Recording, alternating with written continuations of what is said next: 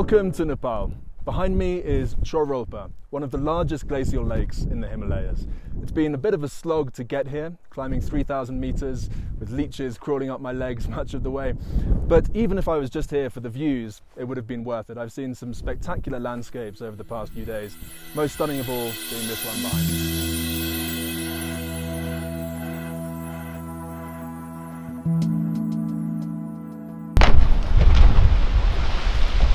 Trouble is, it's a pretty sinister kind of beauty.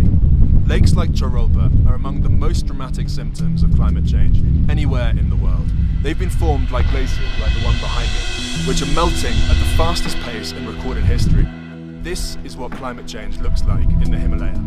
And for people who live in the valleys beneath these lakes, the implications can be very dangerous indeed.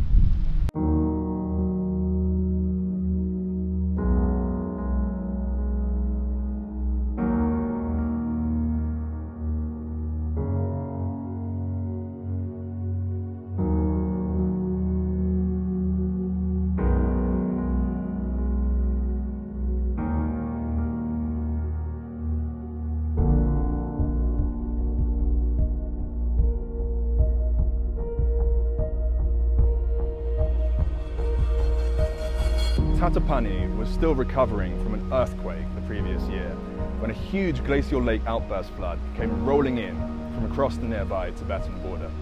The flood destroyed many of the village buildings, and this northern section remains completely abandoned three years on. People have returned to other parts of the village, but with the Himalayan glaciers still melting apace, many residents remain very concerned about the risks of a repeat disaster. उठाउँदा उठाउँदाखेरि त यस्तो जाल ढोका सबै थर्किरहेको थियो।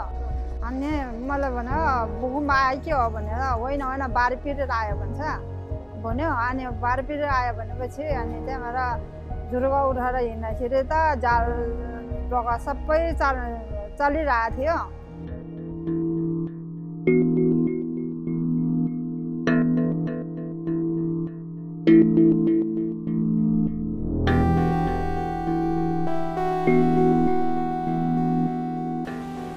Years on from the flood, the reconstruction project at the Upper Bhote Koshi hydroelectric plant is nearing completion at the hands of Chinese contractors. This wall behind me was blown out so hard that half of it ended up on the opposite bank of the river. It's now been rebuilt with a stronger design. These two gates were also severely damaged. They've been largely rebuilt and replaced. And then over here, an entire new diagonal section has been built to channel water towards the center of the dam where it's strongest.